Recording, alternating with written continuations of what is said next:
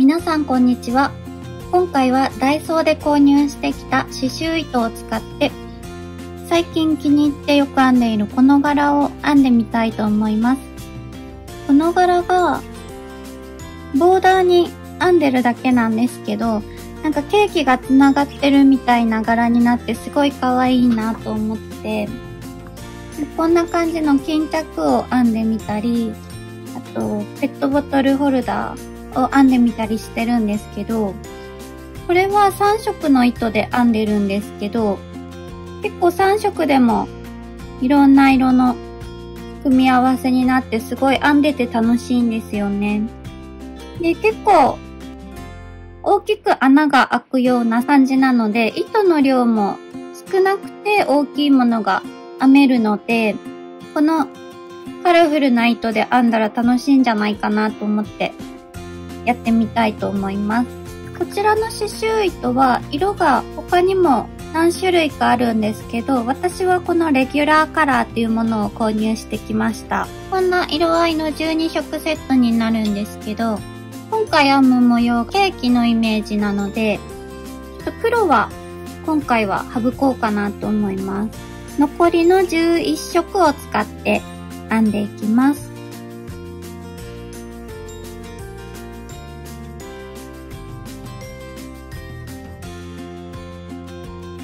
回使用かぎ針は3号 2.2mm のものを使用していきます。それでは巾着の底の部分から編んでいきたいと思います。刺繍糸は、一応この糸端がピロッと出てるので、紙をつけたままここを引っ張ると、だいたいスルスルっと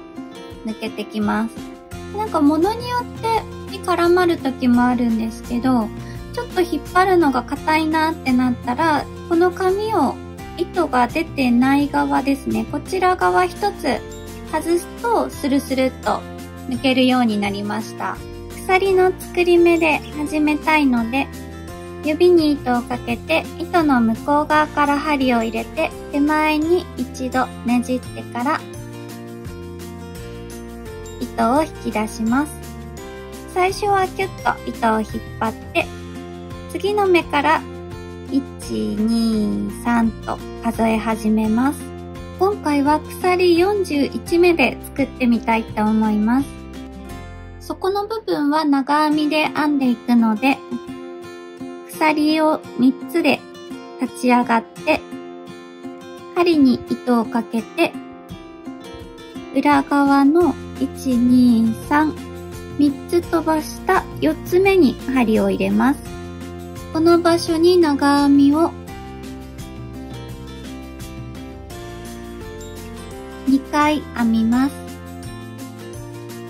次からは鎖の裏山を1目ずつ拾って1目ずつ長編みを編んでいきます。マーカーをつける場合は1つ目の長編みの頭の隣の鎖につけておくとわかりやすいかなと思います。最後はここに引き抜きをします。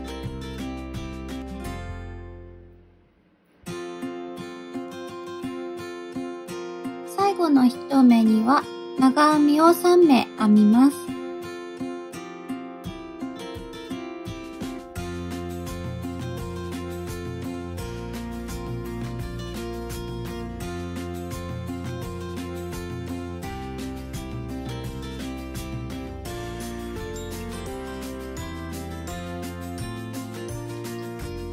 目編んだらもう一度同じ場所に長編みを3目編むんですけどその時に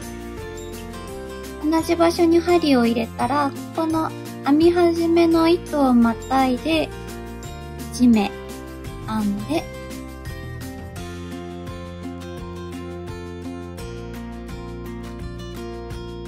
同じ場所にあと2目編むときはこの編み始めの糸を折り返してきて編みくるむように編んでいきます。糸端の処理が後々しなくて良くなるので、このまま糸端を編みくるんでいこうと思います。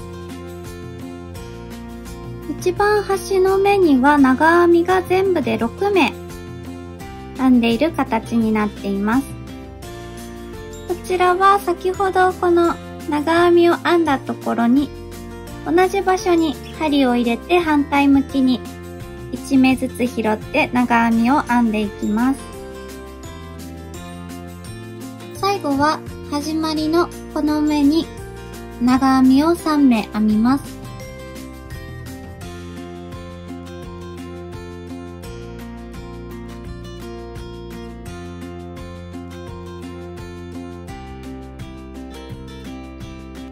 次の段から糸の色を変えたいので、3面目の長編みはここまで編んだら、最後の引き抜きは色を変えて引き抜きます。そしてここのマーカーのついている目に引き抜いてつないでいきます。この時に新しい色の糸端と今まで編んでいた糸を針に引っ掛けて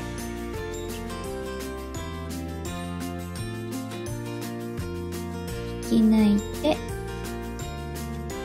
そのまま次の段の鎖を編み始めます。そこを編んでいた糸があとこのくらいあるのでこれも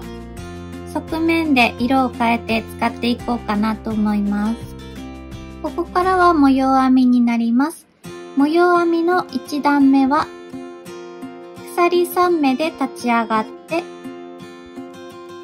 引き抜きをした目の隣の目に針を入れて、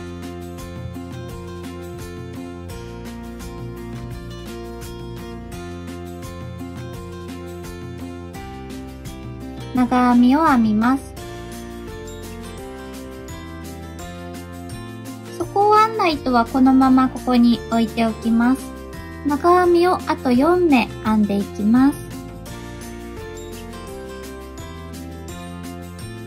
次に少しきつめに鎖を3目編みます。長編みの頭を1つ2つ飛ばして3つ目に針を入れて引き抜きます。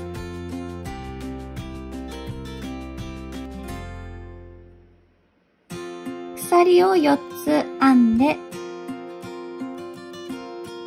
もう一度同じ場所に引き抜きをします。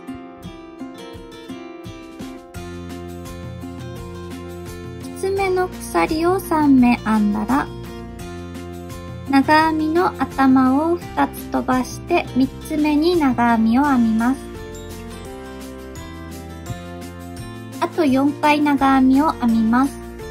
この段の模様は鎖3目引き抜き、鎖を4目引き抜き、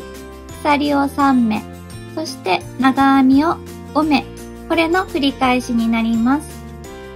この段の最後は長編みの目が2つ残っている状態で、こちらは鎖を3目編んだところで終わりになります。一番最初の立ち上がりの鎖の一番上の目を拾って引き抜くんですけれども、ここでまた色を変えたいので、この引き抜きは次の色で引き抜きます。この引き抜きをするときに、そこの、そこを編むときに使っていた糸を針に引っ掛けてから引き抜きをして、このまま次の鎖編みにつなげていくと、下の段の糸が巻き込まれて一段上に進んできます。模様編みの1段目を編んでいたこの糸は、この後また使うので、ここにこのまま残しておきます。模様編みの2段目は、鎖3目で立ち上がって、下の段の長編みの頭を拾って、長編みを4目編みます。この時に今使い始めた色の糸端を編みくるんでいきます。長編みを4目編んだら、鎖を5目編みます。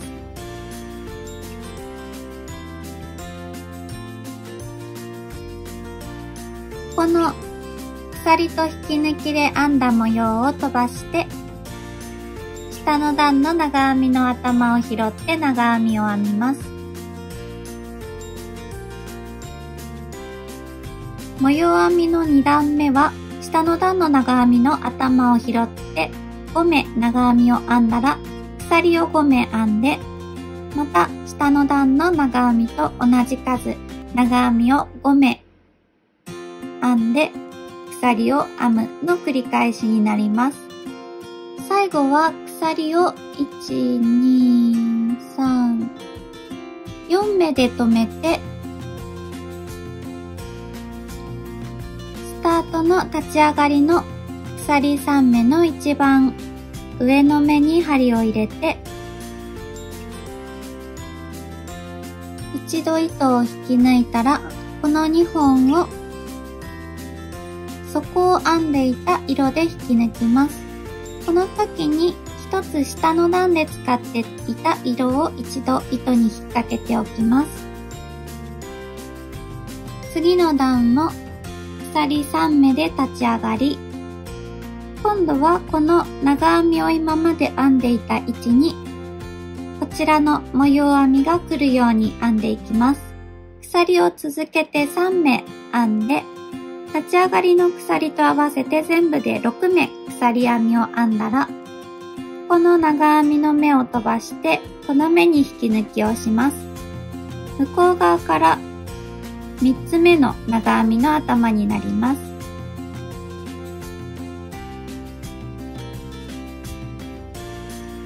鎖を4目作って、同じ場所に引き抜きをします。鎖を3目作ったら、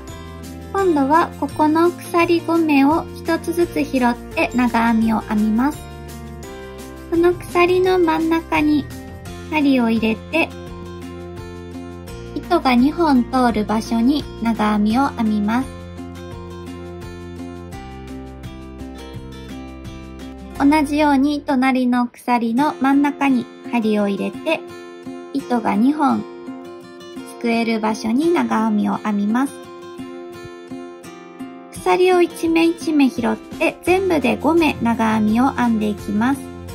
あとは同じように鎖3目引き抜き、鎖4目引き抜き、鎖3目と長編み5目を繰り返していきます。この段の途中で底を編んでいた色が終わったので、次の色を使っていこうと思います。色を変えるときは長編みの最後の目を新しい色で引き抜きます。一度糸端を引っ掛けてから編み始めます。この糸端は長編みを編むところで編みくるんだ方がいいと思うので次の段の時に編みくるもうと思います。この段の終わりは長編みを4目編んで4目目の長編みの最後の引き抜きを模様編みの1段目の色で引き抜きます。この色を引き抜くときにもう一色の糸を引っ掛けておきます。そして立ち上がりの鎖の3目目に引き抜きます。次の段は鎖3目で立ち上がって、続けて鎖を5目編みます。全部で8目の鎖編みを編んだら、この長編みの頭を拾って長編みを編んでいきます。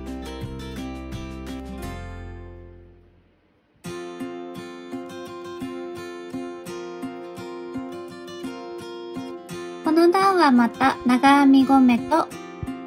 鎖編み5目の繰り返しになります。ここの段の終わりは長編みを4目編んで立ち上がりの鎖の1、2、3つ目に針を入れてここから次の段の色を引き抜きます。2段下の色を次の段で使います。き抜くときに一つ下の段の糸も引っ掛けてから引き抜きます。次の段はもう1目隣に引き抜きをして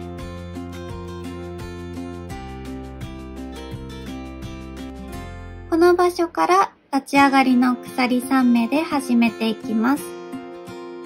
模様編みはここまで編んだ1、2、3、4段の繰り返しになります。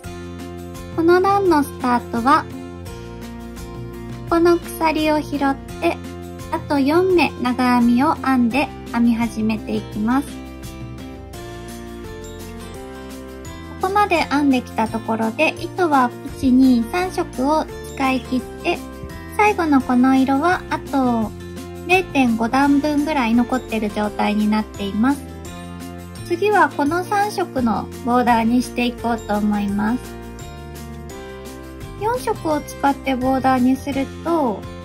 この配色だったらもうこの配色っていう感じで決まってしまうと思うんですよね。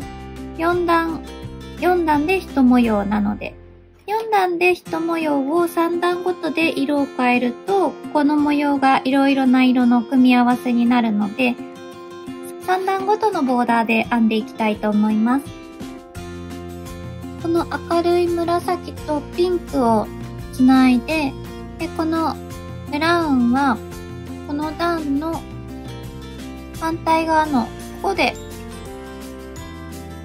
ここで終わってしまって、ここから次のこの色をつけようかなとも思ったんですけど、あと、これだけだったので、この色の残ってる糸でつなぎました。結構ギリギリでしたね。これでぴったりっていう感じでつながりました。なので、この先は紫とピンクと黄色の3色でオーダーにしていこうと思います。黄色をつないだところで、ピンクと紫は糸が終わったので、次は赤とオレンジをつないでいってみたいと思います。オレンジの後はベージュと緑をつないで、今ベージュ2段目を編んだところで、糸がもう残り少なくなっているので、ここでもう終わりにして残っている緑の糸で紐を通すところを編んでいこうと思います。今ベージュの段の終わりを緑の糸で引き抜いたところになります。このまま鎖3目で立ち上がって隣の鎖編みに長編みを編みます。鎖編みを2つ編んだら鎖を2つ飛ばして3つ目から長編みを3目編みます。紐通しの段は長編みの頭と鎖編みを拾いながら長編み3目、鎖編み2目を繰り返して編んでいきます。この段の最後は長編み1目で終わって立ち上がりの鎖に引き抜きます。残りの糸で紐を作ったんですけど、長さが全然足りなかったので、使わなかった黒の糸で作ろうと思います。今回紐は鎖編み100目で2本作りました。この段のつなぎ目を横にしたいので、この隣の穴から入れて、交互に通していきます。最後はこのように真横に来る長編み3目を挟んで紐が出てくるような形になります。もう一本は半分に折った向かい側から入れていきたいんですけど、向かい側から入れると、ここが。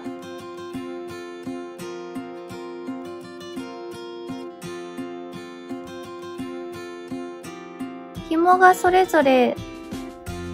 違う位置で手前に出てくるようになってしまって、これだと結構紐がきつくなってしまうので、あまりこの紐の通し方が好みではないので、向かい側から一つずらして入れていこうと思います。こうすると2本の紐が同じ場所で外に出て同じ場所で内側に入っているような紐の通し方になります。この方が紐を引っ張った時にスルスルっと力を入れなくても口が絞れるようになるので私はいつもこの紐が表に出る位置と内側に入る位置とが2本で揃うように通しています。紐の通し方はお好みで変えてもらうのがいいと思います。2本の紐が通ったら端を結んで糸端の長さを好みの長さに切って完成になります。黒の紐は結構存在感があるので糸端は短めに切ってみました。出来上がりの大きさが横が15センチ縦が縦が15センチより2、3ミリあるくらいですね。この底の部分を町として考えるなら14センチですね。見た感じ正方形の巾着になりました。こんなにカラフルなものは初めて作りました。なんかたまにはこのくらいカラフルなものも編んでて楽しいですね。なかなかカラフルな模様のものを毛糸玉一つ使って編もうとすると、一つの毛糸玉を少しずつしか使わないことになるので、半端な毛糸がたくさんできてしまったりとか、すごい大きいものを作らないといけないことになってしまうので、模様編みでいろんな色を使いたいときは刺繍糸すごく便利だなと思いました。最後まで見てくださりありがとうございました。